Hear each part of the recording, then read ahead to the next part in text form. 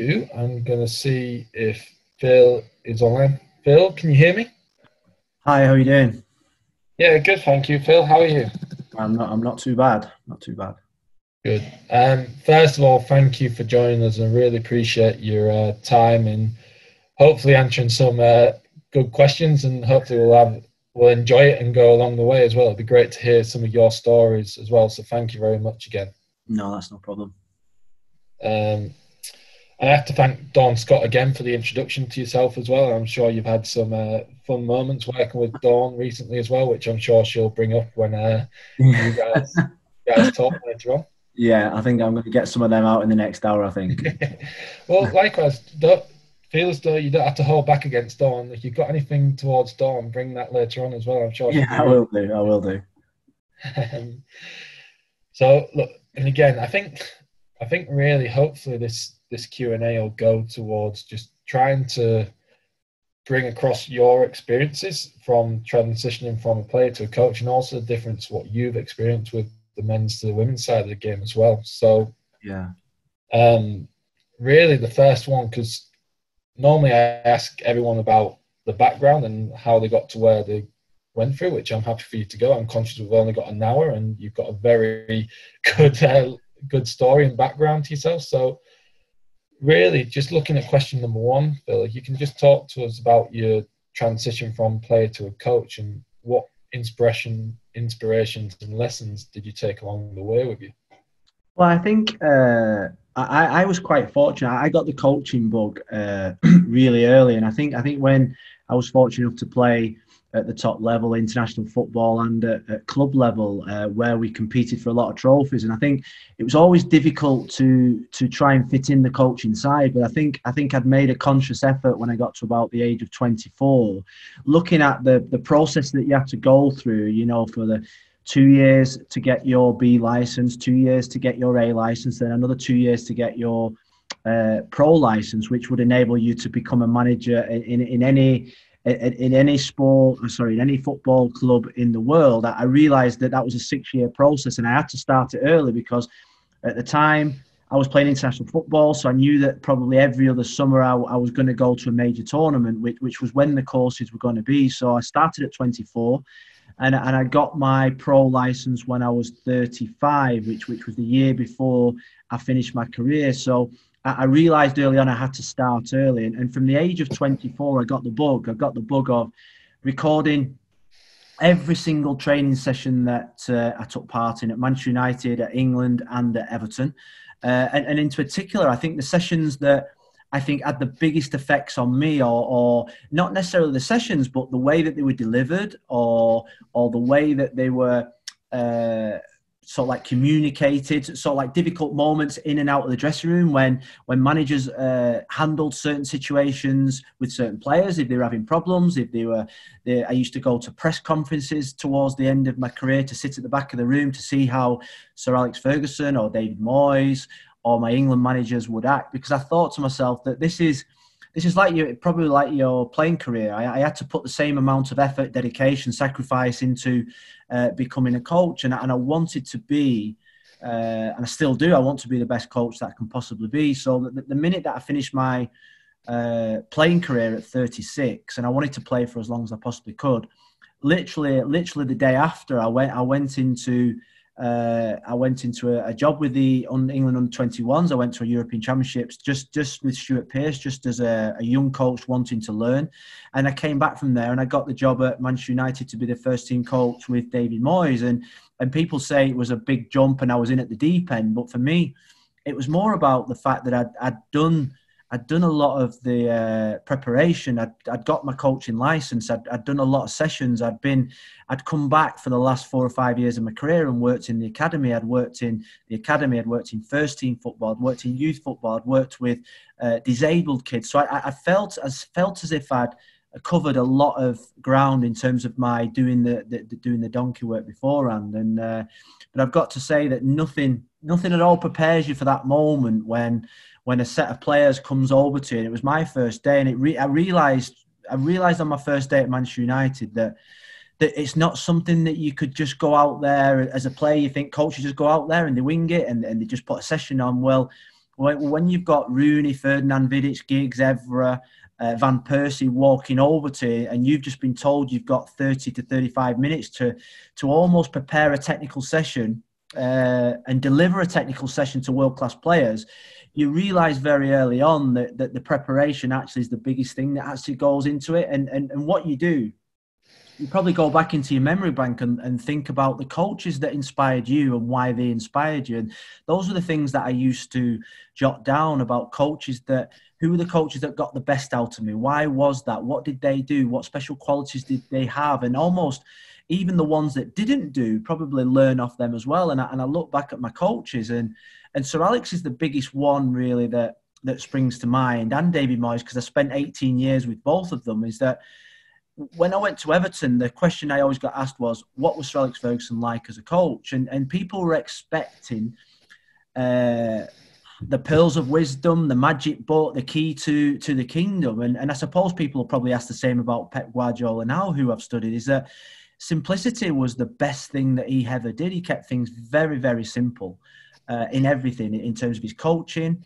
Uh, and bearing in mind that Sir Alex Ferguson never coached a, a, a, session that I actually, in 12 years in the first team at Manchester United, he never coached a session. It was his it was his assistants that always did the coaching. But the way the way he spoke to his players, the way he connected with his players, the way that he trusted his players, the way he set the discipline within the dressing room, the way he led the values, and, and probably talk about values later on when we talk about the Lionesses. I think values are a wonderful thing to have in your sports organisation and as a coach because you've got to live with those values. And uh, the biggest thing that Sir Alex Ferguson had, he had a strong culture and he had strong values that every single staff member and every single player had to live by. And David Moyes had the same at Everton. And when you look at sporting organisations that are successful, and that is in football or, or in any sport, I think what, what people probably tend to talk about are the values and the culture. And that, that was the biggest thing that I probably learned from a management point of view is that get the culture and the values right within your team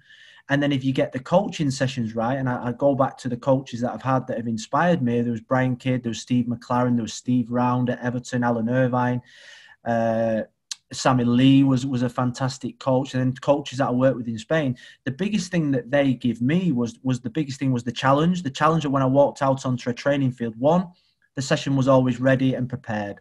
Two, their energy, the energy in which they gave me meant, meant that I didn't have an excuse then to give the same energy back. And then, and then I suppose the biggest thing was the challenge, the challenge of putting on a session that would take me out my comfort zone, that would give me the biggest challenge, and would be, give me the biggest scope to improve, develop, and learn. And I think, I think that those were the main qualities that I, I learned, which meant that when I became a coach uh, the values that I learned from the managers that I played for, the environments that I'd experienced, both good and bad, meant that I, I'd built up a little bit of my own philosophy along the way. That's that's great, and cheers to that. Like when so when you were actually a player, do you think you obviously you had a different mindset probably to what some of your teammates had because yeah. they were playing and they were turning up, and sometimes those rules and kind of the um, structure that coaches put in place are kind of seen as negative. Did, yeah. Do you think you learned early in your playing career that that was what you wanted to do? So because of that, you actually took them on board a lot more than your teammates as well. Yeah, yeah, I think so because I, I knew that my, my career was only going to last uh, probably for 35 years of my life. So I needed something to, I needed something for the next 30 years to challenge me. And and I think what I loved about football was the structure, and I, I loved the detail in which went into planning and preparing and delivering. Uh, and and I think what I loved the most was I, I loved the environments and the culture that, in particular, I was inspired. I, have got to say, Sir Alex Ferguson was a genius in which he inspired a whole club. And, and, and I'll give an example of, of, of how you create a culture is that when he left and I went into Manchester United with, with David Moyes, who, who was a brilliant, brilliant manager, uh, you didn't realize until Sir Alex left the culture which he, which he developed. And there was one day, I think it was the second or third day, we we went into the canteen. It was about three three thirty in the afternoon, uh, obviously coaches, uh, and and the place was was an absolute. It was empty. The, the place was uh, was dead. And and and and David David Moyes, the boss, said to me, said, "Look, where's everyone gone?" And I just said to him, "Well, come in the morning at six o'clock." Uh, and I'll meet you in the gym. So the next morning, even though David Moyes didn't come that early, you go in the gym at six o'clock, and every staff member was in the gym at six o'clock because that was the culture that Sir Alex Ferguson developed. Every he used to come in early. He used to come in early every single day. He wanted to get in before the traffic, so he'd get in, he'd do his gym work. The rest of the club would do the same, and then by three o'clock. I think I think what Sir Alex uh, wanted to develop at Manchester United was the fact that he was a he was a family man. Is is obviously the day lasted from seven o'clock till three o'clock rather than from nine till till four or five. So he he liked to get in before the traffic and get home before the traffic because obviously he had things to do at night with with the club of size of Manchester United. So every morning at six seven o'clock, the whole gymnasium was full of of the staff from Manchester United almost attacking the day, almost setting, getting your getting your shopping place before the players came in, and then when the players came in at eight thirty, nine o'clock, everybody had done the workout, everybody had had breakfast together, and then they were ready to attack the day and and, and prepare what was world class sessions and inspiration for the players. And and I think when he left, you didn't realize the effect that those same staff that was still there was still coming at 6 6.30 was still having breakfast together. And that culture is is what he developed. He developed a culture of every single staff member being together in everything that he did. And it was quite a powerful it was quite a powerful uh, tool that he used uh, in terms of the success of the club. Seeing the size of some of the biceps on some of the former Man United staff during your time probably explains that now if they're yeah. in the gym at that early stage. not me though, not, not so, me. Like, I, I, I never did the bicep stuff. no, like uh, I've got a few colleagues who probably to hear that they'll be giving me a bit of grief later on. But um, like, do you think that was one of the biggest challenges then? Like when you came in as a coach with David Moyes, was that one of the biggest challenges to maintain that, or was it easy to try and maintain that culture that had been created there?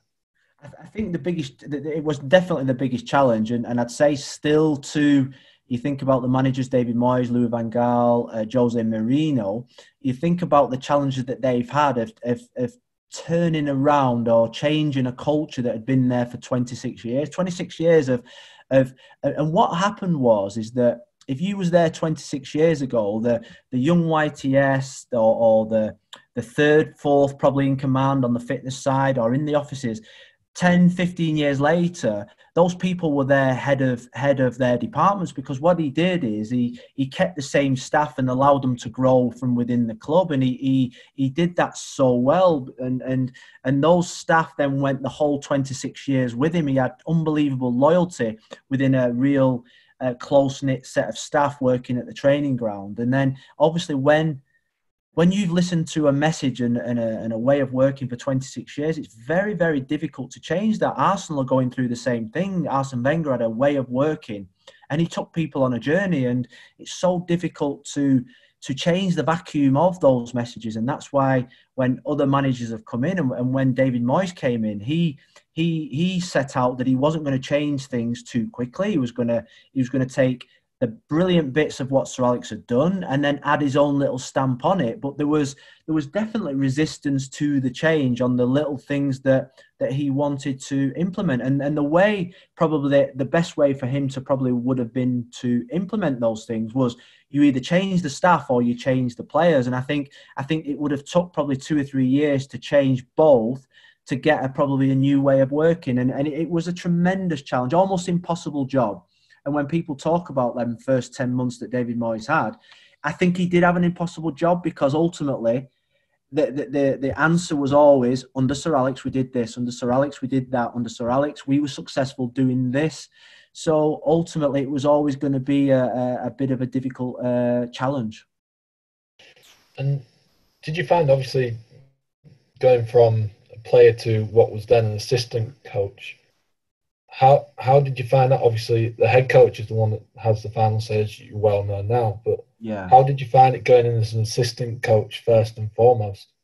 I found I found it okay. I was I just finished in football. Uh, I, I turned down the job uh, of managing Brighton. I'd, uh, three years ago, Gus Poyet had just left. I turned down because I wanted to get some experience under my belt.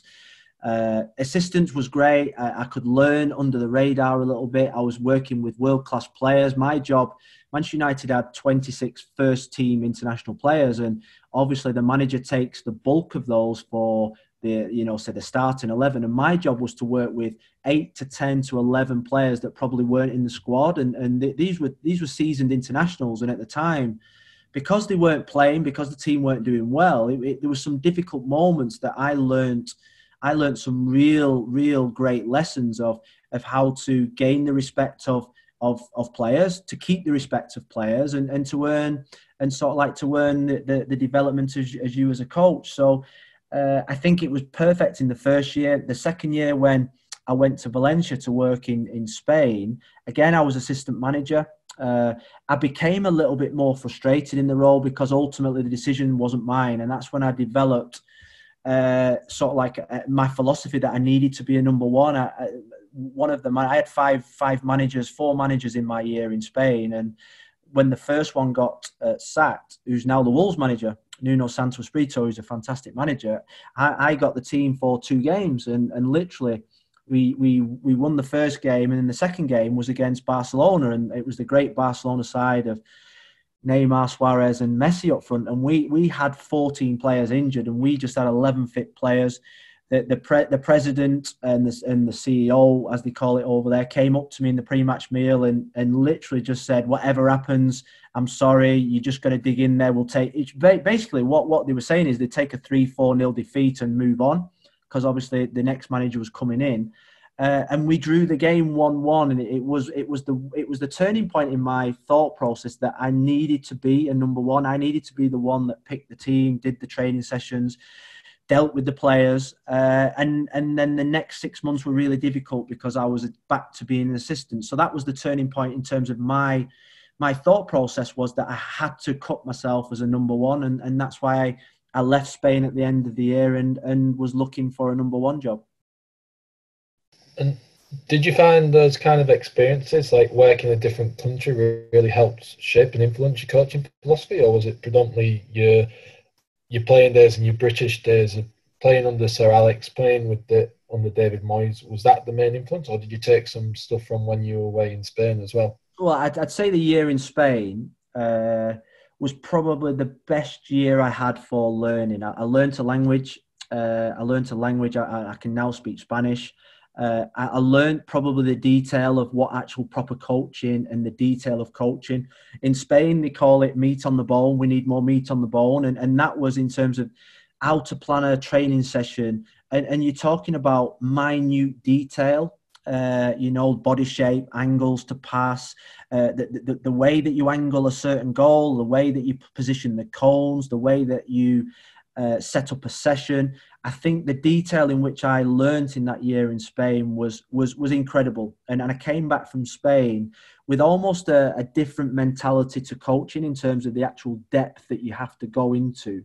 Uh, they, they in Spain they spend a lot of time uh, coaching, developing, learning uh, challenging players. And, and it's, it's, it's less on the opposition. It's less on preparing how to sort of like stop an opposition. It's how do we implement our philosophy onto uh, into a game plan and, and the in- intricacies of the detail of coaching. What I learned in the 12 months in Spain, I think was probably uh, well, probably one of the best learning experiences that I've ever had. And for the first six months, I, I did not understand a word they were saying because I was trying to learn a language, I was trying to coach at the same time. Uh, but along the way, learned and had the most fantastic experience, and ended up staying out there for another 12 to 14 months, literally just going, watching Spanish coaches work, uh, trying to perfect the language and the detail. Uh, and, and, and that helped me, uh, that I think will help me in my career. And so, did you find like because I'm guessing your family would have been at, out with you all the time. Were they all right with the transition as well? While you were because obviously it's a full on experience trying to learn to develop this coaching philosophy as a head coach. Were the family okay with you being out there? Yeah, well? well? I mean the I, I, I didn't. Uh, we, we just made the decision. We sold everything in England. We didn't want anything. We didn't want anything to come back to. We wanted to actually commit ourselves to the the three years that we committed. The, the, the first the first six months of moving to any country, I think, is the most difficult. Uh, but but straight away, I think within six months, my wife and children were fluent in Spanish, uh, which made a hell of a difference. Valencia is is a is a city where where there are not not many direct flights from Manchester, London, or, or Birmingham. So you don't go walking down the streets like you would in Marbella or with people wearing football shirts. If you don't speak Spanish, you don't survive. So we we threw ourselves into it. My son joined Valencia Academy, so he was really in at the deep end. My, my, my daughter uh, just threw ourselves into everything. And then within six months, we could never see ourselves coming back. And that's why we stayed out for another 18 months uh, to, to perfect the language because we love the culture, we love the lifestyle. And still to this day, I think, I think it's a destination where I, I want to return to because the culture and the way that they live their lives in terms of uh, you know, the, the, the, hours in the day, the, the way that they are relaxed about things, uh, w- w- suited suited a great lifestyle for us, and the family speak every day about that experience. That's great to hear, and those kind of like life experience you can't really buy, and I suppose that's things behind the scenes that you don't really get to see no. when someone like yourself's fronting up to a camera trying to do an in, interview in Spanish or English, depending on which media you get. So I think the biggest challenge, uh, Steve, is that I was having two-hour lessons every day in Spanish, but I had to have before training at seven thirty. I, I had to have 30 to 45 minutes with my Spanish teacher, actually preparing my Spanish for the session that I was going to go into. So it, it was it was brutal that, that you know the, the the time scale. But ultimately, if you can if you can speak English, you can speak Spanish you can work in any country in the world basically. And that's what we that's what we said. We get ourselves out of our comfort zone. I didn't want to i didn't want to go down the path that most coaches go down stay in your country. I wanted to travel. I wanted an adventure. I wanted a challenge. And la liga is one of the best best uh, leagues in the world. And you know i've I've coached a team that have drawn with Barcelona, and I've coached a team that lost seven one to Barcelona in the Nou Camp with with your brother as the manager people say they were the disastrous situations, but for me, and I'm sure my brother will say the same, they were the most wonderful. They were the most wonderful learning experiences that, that we could ever have, and uh, it, it stood me in good stead for the next job that I was going to go into. I was going to mention when you said you got frustrated with the head coaches. I wasn't going to mention that you worked with your brother at some point, just in case those two kind of came together. Um, no, they didn't because he, because he couldn't speak Spanish. He gave me a lot of responsibility. I, I took a lot of the coaching. So uh, actually, the, the three months, the three months I think it was I had with Gary was fantastic because we'd spent so much time together. We, we are the best of friends. It, it, was probably the moments either side of Gary with with other coaches that I found probably the most frustrating because if you have a new coach and they are Portuguese or they are Spanish, you, they bring their people in with them which is perfectly normal, which is football. And, and, and in a way, I was a little bit on the outside of, of their uh, of their little of their little community. I think it's interesting you say that. There's a lot of people, probably in the audience as well, that's experienced that within the different, not just in football, but different sports have worked with. Like, how how did you start to try and integrate into that bubble? Is it just a case of working with them and eventually trust, or do you think it's sometimes with some coaches it's impossible to get into that kind of circle, especially yeah. for not just as a coach but also as like support staff as well? Yeah, I think I think it's it's probably equal to fitness coaches, medical uh, physios. Uh, team liaison officers. I think I think when you have a group that comes in together and you see a lot of the coaches now, they they travel within their within their uh, the manager, assistants, and their own little team. I think that I think the advice that what I would say is is that you've got to be patient. Uh, you've got to understand probably their side of it, where they are a tight knit team uh, that they've probably been together for a number of years, and and that they trust each other. And you've got to earn that trust, and you earn that trust by, I think, by the quality of your work and not by constantly knocking on the door, constantly sort of like putting yourself in their face. What I did, I, I tried to just remain pretty balanced, except that sometimes sometimes I would have been included, other times not. But hopefully, when they saw me work and they saw me interact with the players and they saw the qualities that I had, that then they would respect that and bring bring me into their family because I, am sure that everybody's experienced that kind of work. But I think patience and the fact that it's not personal, it's just probably routine that they have. uh, that, that makes them like that, where you feel a little bit on the outside? Yeah, I completely agree with you. I think having experienced working with some Portuguese and Russian coaches over the years as well, I, I think you're spot on with what you're saying there. And I suppose the next question that I'm going to come to now really is how going from the men's football side of it and working with different cultures and environments within the men's side, how did you actually find transitioning across to the women's side of the game? Was it similar or did it vary a lot?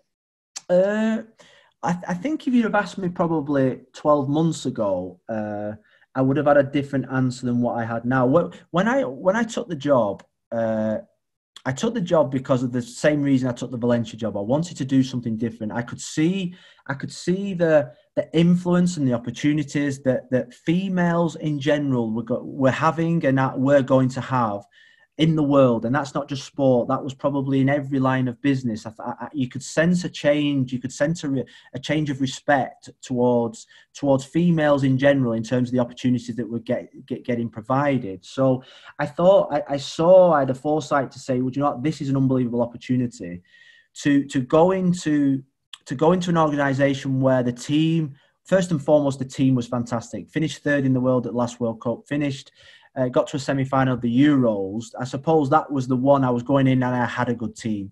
But I also saw the opportunity to, to actually be a part of something quite revolutionary, quite inspiring. Uh, and and from the day from the first day that I met the team, I drove down to from Valencia to La Manga that they were doing a training camp in January in La Manga. I went and and and straight away you go in with the before I went in I was driving down thinking I'm just going to do the same sessions. I'm going to speak to them like I would uh, a Man United, a Valencia player, and everything would be, you know, the same. And then, and then when I stood in front of them for the first time and I presented my philosophy, my aims, my objectives, I realised straight away that it was going to be very difficult. It's very different, not difficult. It was going to be very different. The way that they engaged, the way that they communicated, I thought was was incredible. It inspired me. And then, then when I saw them train, I thought, hellfire, this is going to be unbelievable, this journey, because they hung on your every word. They listened to everything that you said. They were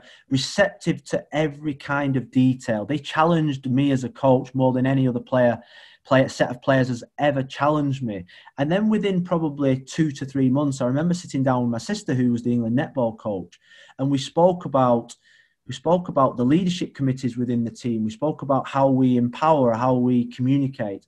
And, and from, from that moment onwards, I realised that I think women's sport or, or, or, dealing with a women's elite athletes, I think you do need to be bespoke. I think there are there are massive similarities in terms of the way I coach men and the way I coach women, massive similarities. But I think there are certain areas of coaching in football and coaching women that have to be bespoke for for female athletes, and that's something that I learned very quickly. Uh, and and I think that's something that still I think at the FA, I think we're still developing. We still need to get better at that. There are that there are physical, there are psychological, and there are still technical elements that have to be bespoke for the women's game. And I think I think we're not at the level yet where it's just one shop fits all. I don't think we'll ever be at that level, and that's not being that's not good or bad. I think it, it, it's just that men aren't women, women aren't men. I think we're built. I think they're built differently the genetics are different, and and I think the bespokeness now in which we're trying to uh, get the England women's national team, I think could take us to a whole new level. And I think I think it's really important. And and I learned that very quickly.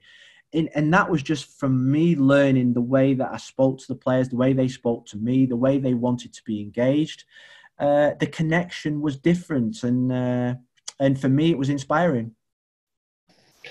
I think again, it's really refreshing to hear that because like working between two different genders in the same sport, like you said, dealing with them like the women are so, and that's not saying men aren't receptive, but the women were so receptive to all this new information and hanging on every single word.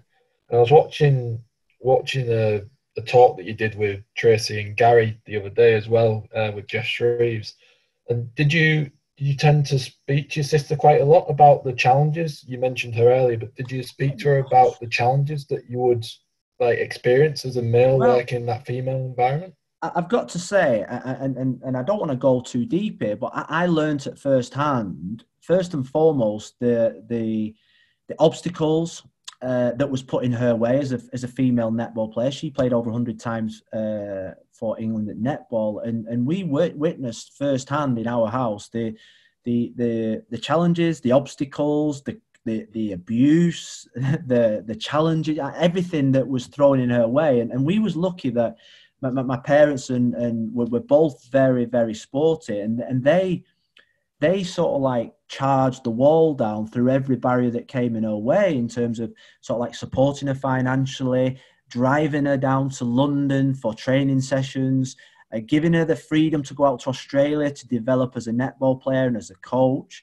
Uh, and and then and then obviously she became England netball manager. And the first thing, the first person, uh, she was actually I was sat next to her at a Christmas meal when I got offered the job, and she just said, "You have to go for it." And I suppose the the, the, the biggest advice that she ever gave to me was that in the first six months that, I was in the job, my my philosophy was a little bit of I'm going to say you're going to do. And, and then after about six months, she she we sat down at a Christmas meal and she virtually said, and we, we were talking through it, and she said, You have to, you have to make these players part of your decision making. You have to make them believe that they are part of the decision making. And I said, Why?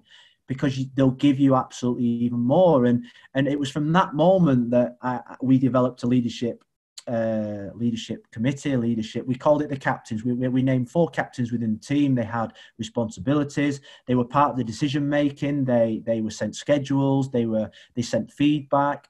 And they were part of everything that we did. And from that moment onwards, I felt my life as a coach improved in terms of you know what I, I had I, I could do less, but empower and give responsibility. And I became a better coach for the advice that Tracey gave me because, and that I think is probably probably more apparent in female sport, probably in terms of involving a female athlete in the process, involving them in the decision making. I think it's a big thing in female sport, and uh, and that was the best bit of advice that she gave me. And the second best bit of advice was is when I was going to the SheBelieves for the first time, which was my first major tournament uh, with the squad. I said, I'm, I'm doing a training session. Uh, my, my style is my style can be quite demanding, and she said, "Don't change. They want you for who you are. So if you if you want to be demanding, be demanding. They don't want another softer version of you." And so so that bit of advice was just be myself, uh, and hopefully that, that you that, that they would like. And and and I've got to say that I hope they did. Yeah, look like some success it was it was interesting that I, I can't remember if you or Gary during the interview, but one of you actually said that you were better at netball than Tracey as well. I, am pretty sure it was you. No, it wasn't me. It wasn't me. so it might have been Gary, but like it, the the incredible amount of sport that has come out of your family, I suppose it gives you all those experiences that you can speak to one another and develop that as well. And yeah, listening to how you empowered some of those leaders within the team, did that help you understand the team better while you're still developing this kind of transition from the men's game to the women's game? No, I, th- I think. Uh, look, my style probably is similar to to Sir Alex in terms of the, the biggest thing I took from Sir Alex is that when when I walked into Sir Alex Ferguson's office when I was twelve, and it was me and my dad. I went in to sign uh, schoolboy forms, which which was a big thing at the time. I left school at my lunch hour, just went drove down to the cliff, and and my dad walked into the room and he knew everything about my dad. He knew my dad was a cricketer. He knew my mum liked netball. He, he knew my grandma and granddad worked at uh, Bury Football Club on the car parking in the catering. And my dad walked out and he said, "This man is a genius. This man is someone that I will trust with my life to give you the best possible start." And so, so I think I think what I took out of that is that you have to know more than just the player, the person as a uh, sorry, you have to know more than just the player. You have to know the person. You have to know what makes them tick. You have to know what inspires them. You have to know about their family. I think if you if you speak to a player and you you ask how their mother and father is, how their partner is, how their kids are, if you know the names of their kids and their partners, etc., if you know their interests, uh, and I suppose a good example of that is we we've just been come back from a, a, tournament now, and we had five new players under the age of 21, and we we put three months of two or three months of hard work into finding out what made these players tick. And when they came onto camp, every single staff member knew everything about every one of these players from from their hobbies, from their parents, from their background, from the school that they went to.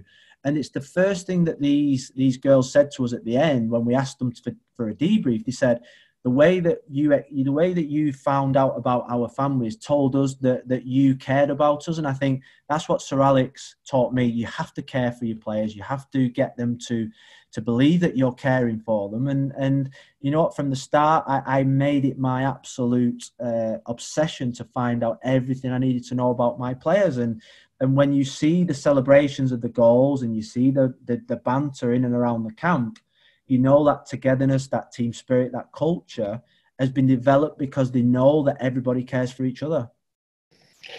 And do you find like making sure that everyone behind the team, because obviously we see 11 players on the pitch and yourself on the sidelines with some people stood behind you. Yeah. Is it important to make sure that every one of your backroom staff as well is understanding of that and really drives forward with that kind of well, mentality as well? They're they're the most important people. The the the, the contact that say for instance the contact that Dawn has with my players is probably four or five times more than me. So so she has to have the same value. She has to be she has to be spreading the same types of challenges and opportunities and, and the wording and the language has to be the same. The masseur, the amount of times that the masseur, that as a player, I used to go around to the masseur, massage room and, and sometimes laugh, sometimes joke, sometimes cry. And you spend your best, you spend your best time, you have your biggest influences in the camps or in your teams with people away from the manager. The manager has very, very little contact time compared to your assistants, your GK coach who is constantly with the GKs, your fitness coaches, your masseurs, your medical.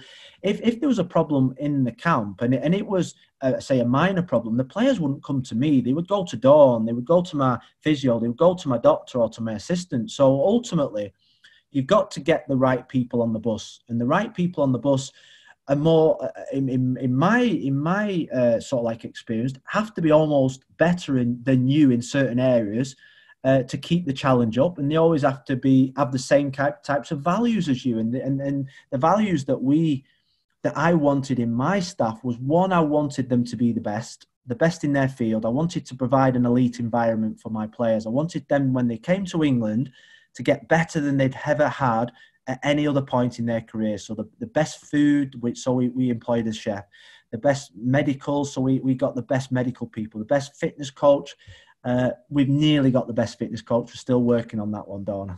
so, uh, but other than that, we you have to get the best people around you, and you have to trust them to do their job, and uh, and that and that is what we've tried to do.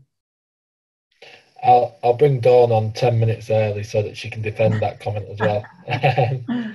But like so, because obviously going back to like the coaching philosophy, I know we talked about that before. Have you found that from when you were thinking about it as a player to now actually being a head coach, do you think that actually the backroom staff have come, become a big part of your coaching philosophy to help you develop it as well? Yeah, absolutely. They, they, you spend you spend a lot of time with your uh, coaching staff. When, when when, when, when part of my philosophy is, is is I love I love hard work. I love taking the players out of the comfort zone physically because I think it improves them mentally and I think it makes us a better football team. And that, that's what we had at Manchester United and Everton. Uh, we had we had great fitness coaches that, that, that got us to be fitter than probably other teams. And and ultimately, I think I think if you if you've got to employ people that that have the same type of philosophy so you've got to get the right people on the bus. And and, and what we've got is is we've we've we've got we've, we've got a situation with women's football that where it was two years ago to where it has now our, our players have developed so much physically because of the work that the, the work that they're doing at their clubs and the work that they're doing with the international team. And and I think I think that is that is paramount. The work that my assistants do in terms of the, the sessions that they put on, in terms of the, the delivery, my analysis people do fantastic work in terms of the the uh, the reviews, the preparation for camps, in terms of uh, of what we actually produce for the players. So ultimately, I think I think what what you need as a head coach, you need great people around you, and it's the great people around you that make you an even better manager. And I think when people are going from being an assistant to to becoming a number one, the people that you have around you can actually define you as a coach, can actually make you be successful, or can actually can make you fail. And I think that was the that was the one thing that I spent a lot of time on when I came into uh, coaching. Is that when I first came in, uh, I had a I had a young coach called Casey Stoney. She she was and is and is going to be one of the best coaches, female coaches, I think, in the world. I've, I've got to say that. At the time, she was young, but at the time, she reminded me a little bit of when I was young. But she'd been coaching for 10, 15 years. So she came in, we, we, we give her the trust to develop. Then, after three months, she was at the point where I was probably. She wanted to be number one. She got frustrated probably with not making decisions, with not coaching every day on the grass. So then she got the job at Manchester United. Then we spent the next probably six to eight months. We didn't have an assistant manager, a female assistant manager, which I think is really important. Uh, so we spent six to eight months then looking for the right person, and we found that person. Uh, she was an English coach working in Canada, Beverly Priestman. We brought her over and and she's been an unbelievable asset for me alongside my goalkeeping coach Mark Mason and uh, we have a part-time coach called Geraint Twose who's brilliant at the individual development plans, the technical work of the players, and and and that is just the technical side. But you add in there two fitness coaches, uh, two two analysis, uh, a, a, psych, a, a two player liaison officers. You've got commercial people, you've got media people. So all of a sudden, we went from 12 people, I think. We took 12 staff to 14 staff on my first trip. We've now got 32 staff traveling with us, uh, which is an incredible, incredible amount of staff. Too, too many. I've got to say too many, but it's, it's the way that the game's grown that we've had to uh, bring staff in to facilitate the growth of the game and, and, and, the, and the improvements that we've made. Do you find you're having to manage staff now just as much as the oh, players? They're the worst. they're, they're, they are. They're, they're, the ones that need the managing the most. And and you know what? We we, we are because when you when you've got a staff as good as probably what we've got, I think I think when you go that everybody wants a piece of the action. Everybody wants to coach the players. Everybody wants to have an impact on a player, a unit, or a group of players. So the managing of that and allowing them to one, allowing them to work, allowing them to have the trust, and then allowing them to have job satisfaction, which I think is massively important, uh, is is is really it's really a it's a work of art to schedule that in, particularly when you've only got five sessions on a camp and ten days and two games. To, to, to actually work that everybody comes out the camp. Sometimes it's impossible to give people the, the time and the place to actually have major impacts uh, with with their time. And and that for me is is something that I spend a lot of time managing making sure that because ultimately the first contact the players have is with my staff. And they've got to have the energy the enthusiasm uh, and the qualities to to be that f- great first person that that impacts the players. Yeah and I think going on comments that you said about Casey I think you're exactly right she actually came to a lot of the junior camps when I was working there with Mo Marley and Casey yeah. was coming and doing similar to what you were doing in the academy. So yeah. yeah, it's refreshing to say that as well. And the I suppose when you talk about staff and how they can help support you as well as managing them, really, I suppose do you have to have those kind of like leadership groups within your staff as well that you have with the players to set those expectations for a camp? It's like this camp we've got two or three games. We yeah. ain't going to have time to do this, this, and this. But this camp, there's one game we have time to do that. So you have to think long term strategically to help everyone get that job satisfaction? Well, I think I think we uh, we have an MDT multidisciplinary team. That's the model that we work to at the at the FA, which consists of a head of every department. Uh, and, and and what we do is is that I, I like to set an objective for a camp and and and, and I give you an example and I think, I think it's probably quite a good example because because it, it, involves the fitness coach we went to Qatar and uh, it was a 12 day training camp uh, in the Middle East uh, and and the theme the theme of the camp was togetherness the biggest thing we wanted to get out of the camp was uh, togetherness. It was it was a month before we went to a mini tournament. We wanted to work on the togetherness, the the feeling, the the, the cohesion within the team. Uh, and and once you have a theme, once you have an objective, then you then you work down how do we get that. And and unfortunately for the fitness coach, it meant that he he had to sacrifice because what what we said was we wanted to do things on the pitch, technically, tactically.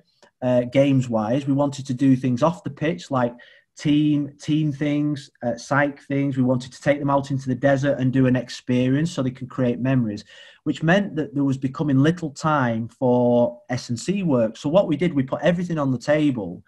Uh, everything that everybody wanted to do, and then we we said well, we'll we we related everything back to actually what was the object of the camp. The, the, the object of the camp was togetherness. So ultimately, we, we put the, the key things in at the top, and everything else below that became secondary. And unfortunately, for for the S and C coach at the time, uh, coaches at the time, uh, it meant that they got less work with the team in terms of doing the, the, the, strength and conditioning programs that, that they'd set out in terms of the build up to the World Cup, which which obviously disappointed them because the physic the physical side was a big thing that we was going for, but in this particular camp we were going for togetherness. I I, I still think that the spirit, togetherness, and the culture of the team can override any any anything else that goes with it and that's technically tactically and physically. So so i think that was one of the instances where as a multidisciplinary team we we put everything on the table. Everyone that every department put something in that they wanted to impact. There was there was media there was site there was tech there was tact then there was physical.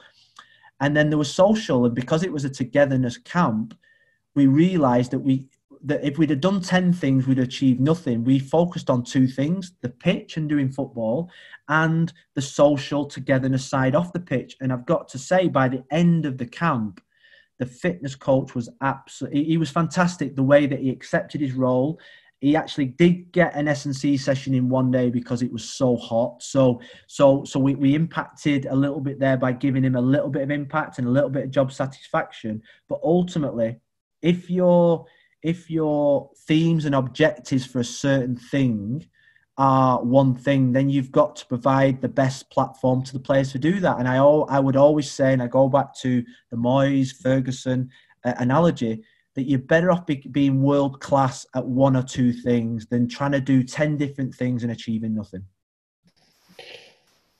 Cheers, but I suppose it's a it's an interesting one really because like each staff member as part of the multidisciplinary team is very focused upon their their individual like objectives that they want to achieve and it's yeah. taking your job as a head coach is taking them all into account really. So like that that camp sounded like you achieved the objectives and you were able to get that is there any time where you feel as though you you've had to just take a step back and really review actually was that the right thing to do? Or do you do that with every camp for not just the backroom staff, but also for the players as well. Because ultimately, the players are the most important ones to help you get the results on the pitch.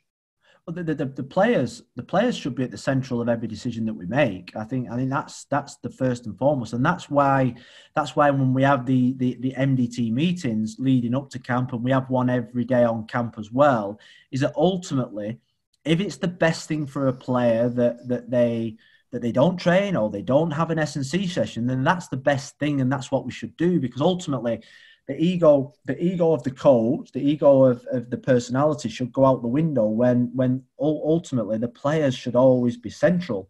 Uh, have, have we made mistakes along the way? Yes, but I think I think my philosophy my philosophy is that sometimes you've got to take risks. You've got to take risks in life to win.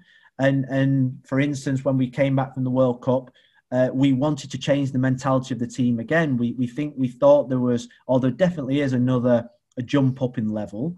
Uh, we, we, we took them. Uh, we took them for a couple of 7.30 little gym sessions we wanted to sort of like get that mentality that you know at any point in the day you can go into a gym or you can go onto a pitch and practice because I, I, still think that we've still got to raise the level of elite performance and elite behavior. So, so we took them to a gym twice on camp. Uh, because camp time is very precious, we took them in at seven in the morning. We got them up. We took them to the gym. Now, ultimately, looking back, coming off the back of the World Cup, I'd say it was wasn't the, probably the smartest idea that I had. But but I, what I wanted to do I wanted I wanted to affect a mentality. I wanted to make sure that they knew that we weren't standing still. Would I do it again? Probably not. I wouldn't. And then along the way, we've we've took risks and we've lost games because we've took risks. We've we've we've gone into camps and we've we've said right, we're we're going to go a certain way on this camp to see how the players react. And and sometimes they've reacted good, sometimes they reacted bad. Uh, and then we've learned and then gone forward. So I, I, do like to take risks in terms of not risks in terms of damaging the players, but risks in terms of my decision making. If there is if there is a staff member that comes up to me and says this is what we need to do, and then provides evidence that it will, it will make us fitter, faster, stronger, and help us become world champions, then I'm willing to take whether it's a risk, whether it's a gamble, or whether to be open minded to do it. Uh, I'm that type of coach. I know within like a couple of your previous in, interviews in that reason, you've been talking about like the innovative strategies you've been trying to do. And Is that part of that mindset where you want to try and new things and challenge it? And then when you get to those like qualifiers to those tournaments, you're in a good place ready to implement the things that you know are right and some things that aren't right in that process? Yeah, yeah. I mean, I mean, we came out the World Cup and realised that for two years we we haven't got a major tournament England for two years. Where you know it was the Euro 2021, now it's Euro 2022. So ultimately, our thought process changed totally from what it was leading up to the World Cup, where we wanted real stability, uh, we wanted consistency in our work, and we wanted to get the players to a certain level to go into a World Cup. Now now, from from the World Cup, we, we, we knew we had a squad that was coming probably to the end of its life uh, cycle, but probably had another probably 12, maybe 14 months left in it. So we said it was going to use probably the first 12 months uh, to experiment, to make changes, to to to try and you know to make the next step, take a few risks, and you know results 12 months ago, what we said, results might not go our way, but we've actually got to keep being brave in our decision making because bravery is one of our it was one of our values. You know, if if the if the head coach and the staff aren't brave, how can we ask the players to be brave on the pitch when they're going out at Wembley? So we we we have took some risks and we have suffered because because the results haven't gone our way. We've but along the way, I think we'll be better for it once we come to a major tournament. And now we're thinking about 2022, there will be some con- consistency and stability come back. But what we've learned over the last 12 months, I think will give us the evidence to then have a real plan going forward and how we're going to attack uh, the next three year cycle of Olympics, then a Euros, then a World Cup. It's, it's an unbelievable three year cycle for us. And the last 12 months has us been building sort of like a, a, a strategy Uh, a philosophy and trying out things to know where we're at now to attack the next three years. Because on the back of that as well, I suppose like this this obviously isn't a planned period of time within the cycle of like your lionesses. How have you kind of like adapted to this phase of lockdown kind of thing and remote coaching?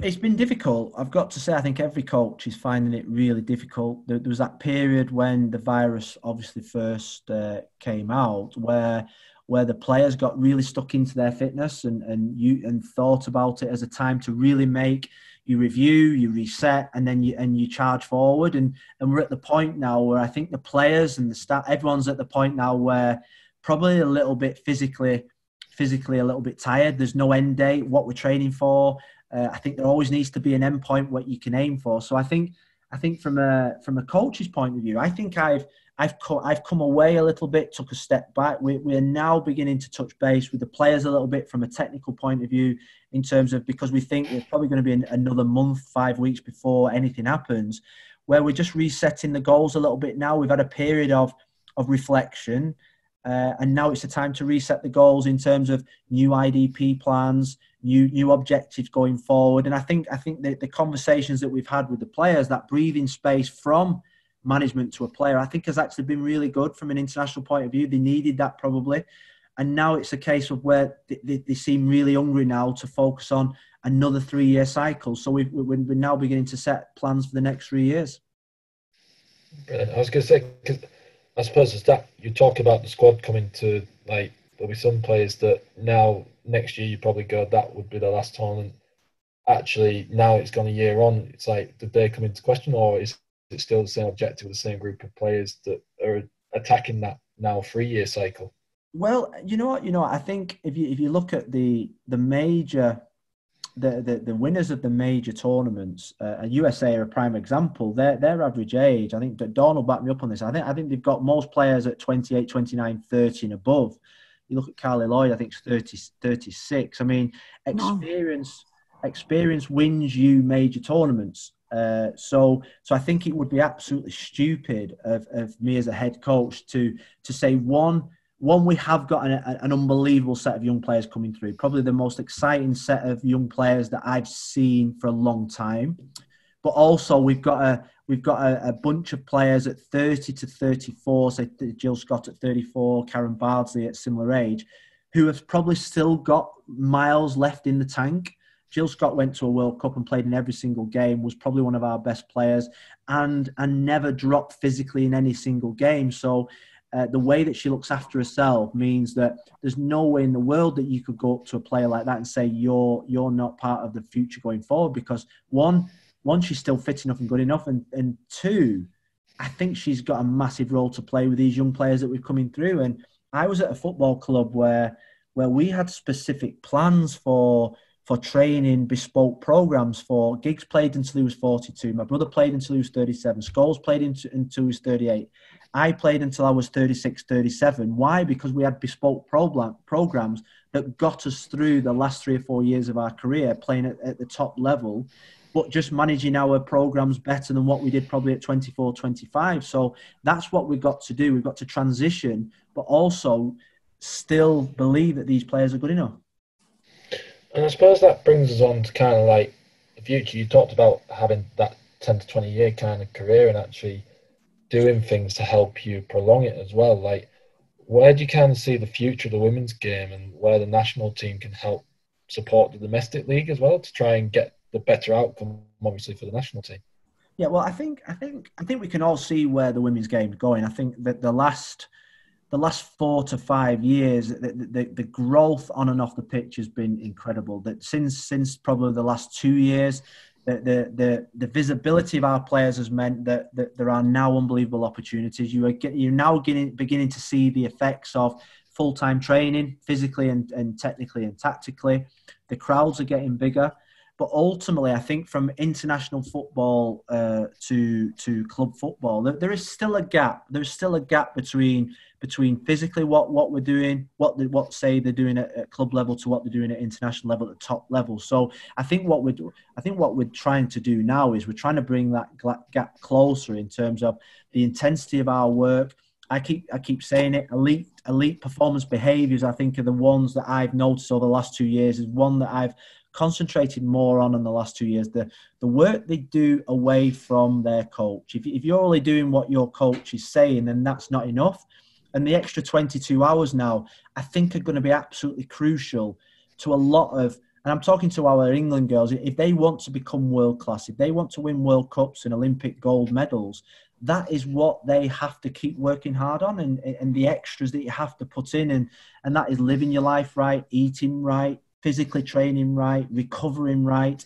The extra 22 hours are going to be the big difference, and I think because we are now seeing more financial uh, input into the women's game, which means that the quality of the staff now and the and the quality of the coaching, the quality of the facilities on offer to the girls means that they can only improve if they dedicate themselves to it. And I think what we will see over the next 10 to 20 years' time, and we saw it in the World Cup, the level of performance at the World Cup, people just didn't tune in. 11.7 million tuned in to watch England versus USA, not because they had to. They tuned in because they saw great quality, brilliant athletes, uh, technical, technically really, really good players, brilliant goals, excitement. They saw things that actually thought, wow, that was really good. And I saw that in most games in the World Cup. Brilliant physically, brilliant tactically, technically, some great goals, brilliant goalkeeping.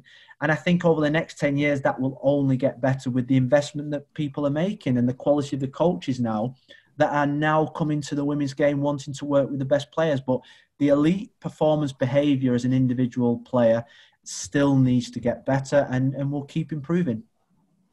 Um, and would that help if you had a better fitness coach as well? Yeah, yeah, I think so. I, th- I think that's something that that's an area I'm looking at. I think. Dawn, do you want to defend yourself at all? no, I'm fine. I didn't know you was on, Dawn. yeah. I'm just making some notes, looking for a new employer. no, just kidding. I suppose a lot of the stuff that you've been mentioning, Phil, about like the development, Dawn's obviously going to be a big part of, and again, we'll come on to this during Dawn's Q and A because she's had an incredible career throughout the women's game so far. But how, like, how do you think we'll see the women's game evolve over the next ten to twenty years? So obviously, you talked about how players and the domestic and national team can help one another. How do you see it evolving further? Is that to me, Steve? Yeah, sorry, that was to you, Phil. Yeah, sorry about that. No, well, I, I think I think what you what what we've seen is is that the the growth of the game means now that you know, and, and I don't think we should ever compare it to the men's game. I think that's a big mistake. I think we have to be we have to be on our own. We have to be bespoke. Uh, we will get there eventually, but I think at this moment in time, there are still fundamental things that we still need to get right from from the bottom right to the very top.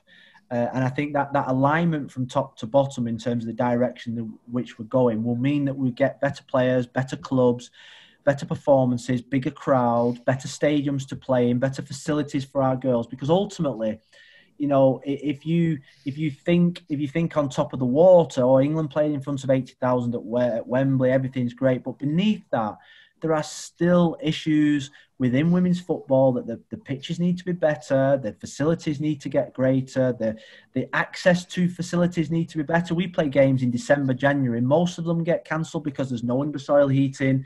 Uh, and, and, the pitches aren't up to the level that, that, that you should expect for the elite league in, in England. So I think on the face of it, women's football is, is in a great place, but underneath, I still think there are fundamental things that we still need investment to keep making things better. And that's the better conditions for our coaches to work, better conditions for our coaches to develop, and better opportunities. And, and if somebody asks me, like, what's the difference between a male and a female coach, a, a, a, a technical coach?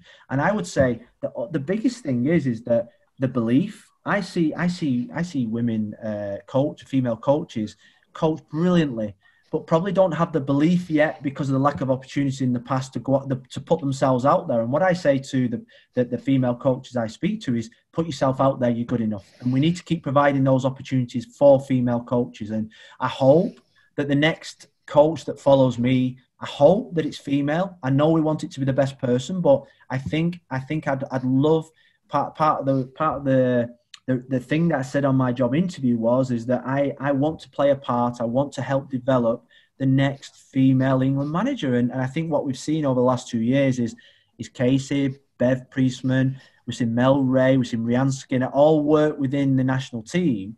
And they've gained confidence and belief from that for them to put themselves out there. And, the, and three out of the four coaches, sorry, the, the two the two coaches in the final of the World Cup were both female. It shows that female coaching is is at a really high level. Now I think female coaches are getting better opportunities. That's that's brilliant, Philip. Thank you. And Dawn, have you got any questions you want to ask Phil before we, we wrap up? no, I'm good, thank you. I think we're speaking about. I know. I thought that might be the answer. I thought you might be getting a bit of grief after some of the comments you made, but. no, no, good. no, Phil, Phil, that's been brilliant. Thank you very much. And I suppose like the last the last thing I'll, ask you just to wrap it up really is for any aspiring coaches or backroom staff or even people that are currently working in the game really what what bit of advice would you give them to try and help give themselves better opportunities to succeed like you have? Well i think i think uh, i'll always go back to uh, what Sir Alex Ferguson. There, was there was one coaching course that we had to go on. We do, we just we just won the FA Cup final, and we had to go on a two two two week residential coaching course. Me, Ryan Giggs, Ole Gunnar Solskjaer, and my brother Gary, and we went in to see Sir Alex Ferguson and basically we said look could you could you get us out of this course and just get us a pass? And and because we're a bit tired we want to go on holiday. And he literally picked up a cricket bat and nearly hit us over the head and said there's no shortcuts in life. You've got to get out there. You've got to if you want to be the best coaches you've got to put the work in.